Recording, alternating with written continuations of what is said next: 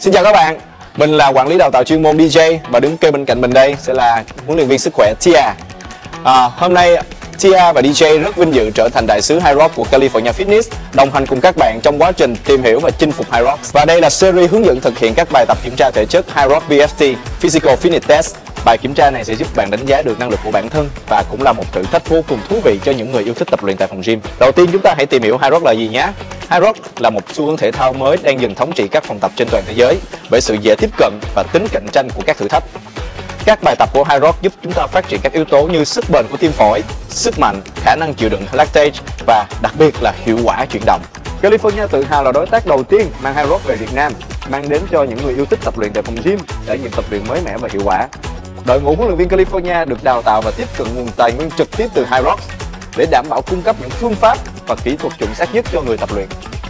High Rock là một bộ môn kết hợp giữa chạy bộ và các bài tập chức năng dựa trên các chuyển động tự nhiên của con người, tác động lên toàn bộ cơ thể và cách mà tim, phổi, cơ bắp của bạn hoạt động.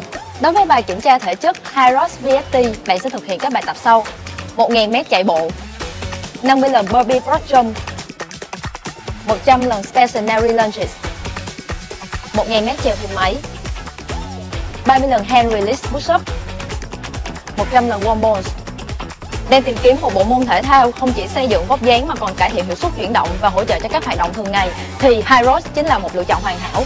Bởi vậy chúng tôi khẳng định High là một môn thể thao dành cho tất cả mọi người. Nếu các bạn có thắc mắc gì xoay quanh High thì hãy comment cho chúng tôi biết nhé. Còn bây giờ thì xin chào các bạn. Hẹn gặp lại các bạn ở video tiếp theo cách để vượt qua thử thách chạy bộ